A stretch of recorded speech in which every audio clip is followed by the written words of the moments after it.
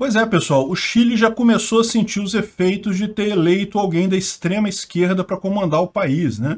Ontem as bolsas já caíram forte e o dólar subiu lá no Chile, o peso se desvalorizou, né? Essa notícia foi sugerida por índio vendedor de terras do metaverso, Xandão contra cabeleireira Leila, lampião libertário, servidor público no Capistão. Obrigado ao pessoal que sugeriu a notícia. Obrigado a você que está assistindo o nosso vídeo. Se você gosta do nosso conteúdo, por favor, deixe o seu like, se inscreva aqui no canal, né?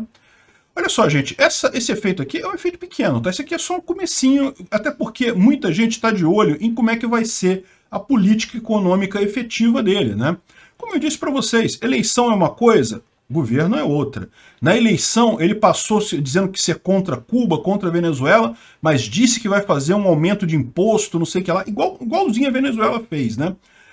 Vai fazer mesmo? Vai conseguir fazer? Vai conseguir governar? O cara lá do Peru é de extrema esquerda também, não está conseguindo fazer nada porque o Congresso não deixa, felizmente, lá.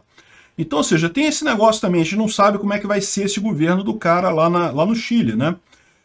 Vamos ver como é que fica. E é, muita gente está falando assim, ah não, agora que o Boric ganhou, a Constituição de lá, que é a Constituição esquerdista de lá, tem uma chance maior ainda de passar é, de se tornar realmente a Constituição de Chile, do Chile. Eu acho o contrário, tá?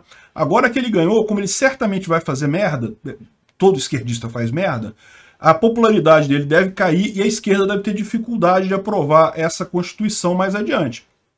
É lógico, você não teria o apoio do governo contrário a essa Constituição, mas isso daí eu acho que não vai ser necessário. Geralmente a melhor forma de você derrotar a esquerda é deixar ela falar. No que ela fala e principalmente no que ela faz, ela acaba mostrando a porcaria que é, o fracasso que é a esquerda. Né? Ele só ganhou essa eleição porque ele conseguiu se descolar da velha esquerda latino-americana, dizer que não, dizer que não tem nada a ver com Cuba, com Venezuela, que não, dessa vez o socialismo vai dar certo, vou fazer outro tipo de socialismo. Né? Você já conhece essa história, vocês sabem, não vai dar certo, sempre dá errado, vai dar errado dessa vez de novo também. Mas é aquele negócio, né? Leva um tempo. Então, assim, a minha expectativa é que, na verdade, as coisas se acalmem, tá? A bolsa caiu forte lá no Chile, chegou a cair é, 6,8%, o dólar subiu, o dólar subiu muito lá também. Mas é aquele negócio, daqui a pouco vai recuperar, o pessoal vai aproveitar que o preço ficou barato, vai comprar umas coisinhas, vai dar uma subida. Isso é normal, faz parte do jogo aí dos investidores, todo mundo tentando adivinhar como é que vai ser o governo do cara. E uh, vamos ver, não dá para saber aqui como é que vai ser na prática. Eleição é uma coisa, governo é outra, né? E veja, nós aqui no Brasil não podemos falar muita coisa também não, porque a verdade é que o governo Bolsonaro chegou aí, desvalorizou o real pra caramba de propósito, né? Vocês sabem, o Paulo Guedes forçou o real a valer menos, porque isso é interessante para a exportação brasileira. Então, aí o pessoal da esquerda adora dizer assim, ah, não, mas eu não como dólar, né? Dólar não interessa, eu não como dólar, não sei o que lá. Não, você come dólar sim, porque o preço do trigo é, é cotado em dólar e você come pão. Se você come pão, você come dólar.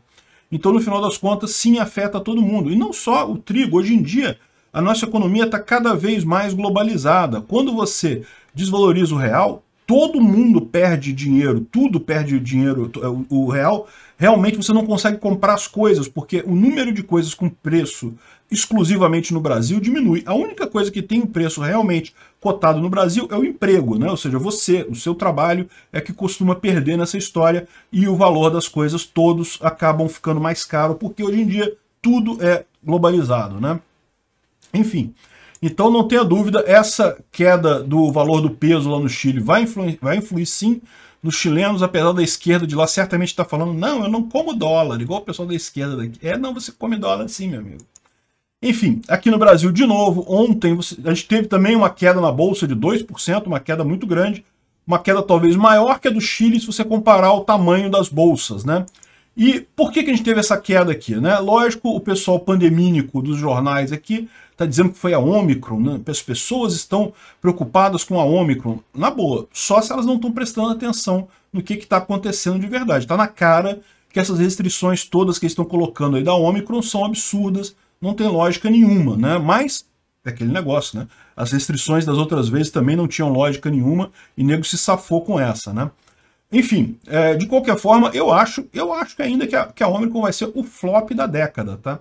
Mas vamos ver como é que essa coisa vai, vai acontecer.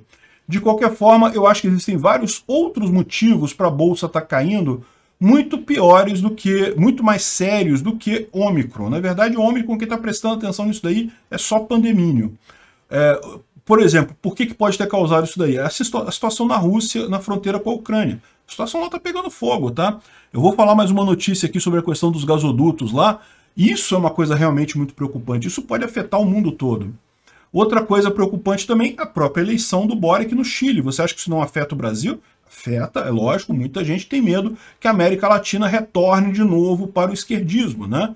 Eu acredito que não vai acontecer isso, mas né, possibilidade é, sempre existe, né? Enfim, é, existem motivos, outros motivos muito mais sérios do que Ômicron para a Bolsa Brasileira cair e para o dólar subir. Então, realmente, é uma coisa que você vê, se você comparar o tamanho de Brasil e Chile, isso daqui é muito pior do que isso daqui. A gente se ferrou muito mais do que o, os chilenos com a eleição do Boric. Obrigado por sua audiência. Se gostou do vídeo, por favor, deixe o seu like e se inscreva no canal para aumentar a relevância dele no YouTube. Assim, mais pessoas terão acesso às ideias da liberdade.